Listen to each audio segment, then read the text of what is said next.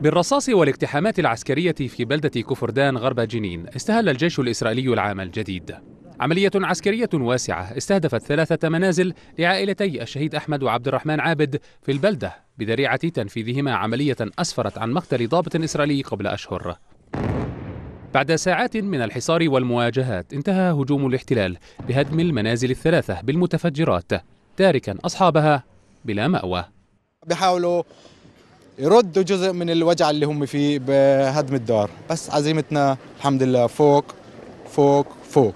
الحمد لله. فعلا سياسة عقاب جماعي. طبعا آه، هاي سياسة العقاب الجماعي طبعا في القانون الدولي محرمه دوليا يعني.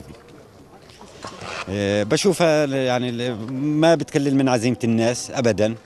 هدم صاحبته مواجهات عنيفة واشتباكات مسلحة بين المقاومين والجيش الإسرائيلي أسفرت عن استشهاد الشابين محمد حوشية وفؤاد عابد وإصابة العشرات بإصابات متنوعة.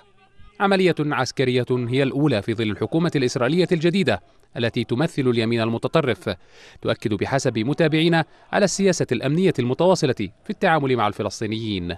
إسرائيل لا زالت بذات السياسة التي تعتمد على التنكيل بالفلسطينيين القتل ورأينا العام الماضي أكثر من 173 شهيد فقط في الضفة الغربية. الحكومة المقبلة بالتأكيد كعقلية أمنية ستستمر في ذات السياق لكن ربما تسعى لتخفيف حدة التصعيد من خلال تخفيف الضغط على الفلسطينيين لإيمان نتنياهو بضرورة تقليص الصراع.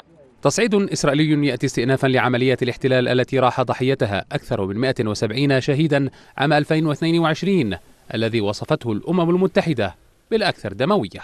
بإسالة مزيد من دماء الفلسطينيين وهدم منازلهم وتكثيف الاقتحامات العسكرية تفصح الحكومة الإسرائيلية عن نواياها للعام الجديد. تصعيد بحسب الفلسطينيين يأتي متناغما مع صعود اليمين المتطرف. إبراهيم خلف عربي رام الله. نظفة الغربي.